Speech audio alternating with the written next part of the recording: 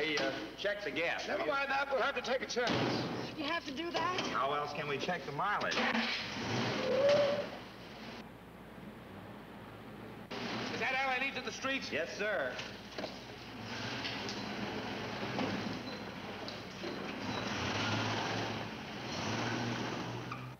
Cliff made it back to San Francisco in less than two hours. He didn't want to risk while catching up with us.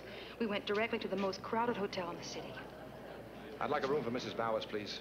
Cliff even insisted I sign the register under an assumed name. I'll take the key. That's all right. I have it. Thank you. Thanks. He took every precaution. Now, Julie, believe me, you can't be too careful. Oh, I know, Cliff, but what about tomorrow and the next day and the next day and the day after that? Hey there, get hold of yourself. Maybe if you had a little dinner, you wouldn't feel so black. No, I'm not hungry. Really, I'm not. Thank you. Uh, tell you what, how about settling for a drink instead? All right, I'll be right down. Ten bucks if you make it in four minutes flat. Thanks, mister. Thanks. And I really mean it, Cliff. Julie. Julie, don't call any of your friends. Nobody must know where you are. All right. I'll be right down.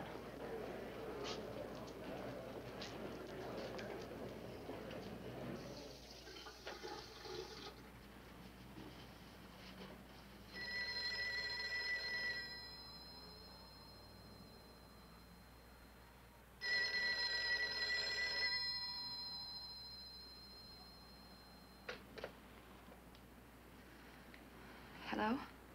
Hello, Mrs. Bowers. Yes? Monterey calling. Just a minute, please.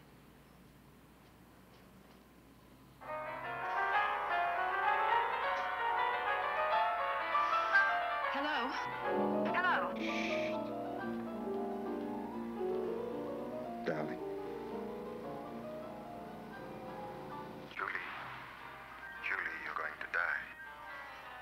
You find me? Darling, you can't get away from me.